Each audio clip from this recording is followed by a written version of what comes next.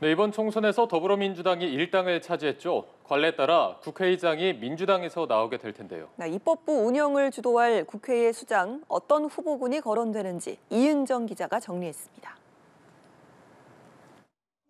총선 압승으로 22대 국회에서도 원내 일당을 지킨 민주당.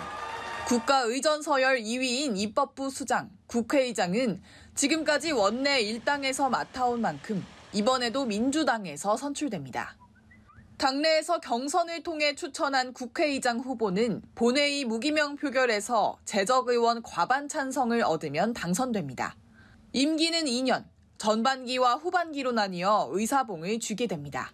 유력한 후보군으로 거론되는 후보는 당내 최다선인 육선 고지에 오른 추미애 전 법무부 장관과 조정식 사무총장입니다.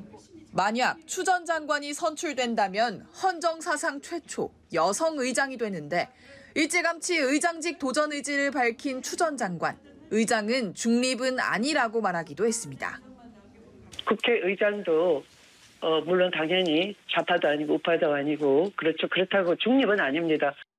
추 전 장관은 장관 시절 윤석열 당시 검찰총장과 대립각을 세운 만큼 의장이 될 경우 어떤 관계를 만들어낼지 관심사입니다. 또 다른 후보군은 조정식 의원입니다.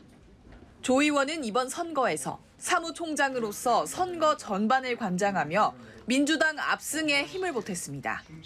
이번 총선에 친명계가 대거 원내로 입성한 상황이라 친명 핵심으로 꼽히는 조 의원은 유력 후보로 꼽힙니다. 5선에 성공한 김태년, 안규백, 우원식, 윤호중, 이인영, 정성호 의원도 잠재적 후보군입니다. 다만 국회의장은 탈당 후 무소속 신분으로 활동해야 하고 임기를 마치고 나면 대체로 정계 은퇴 수순을 밟게 된다는 점은 변수입니다. 연합뉴스 TV 이은정입니다.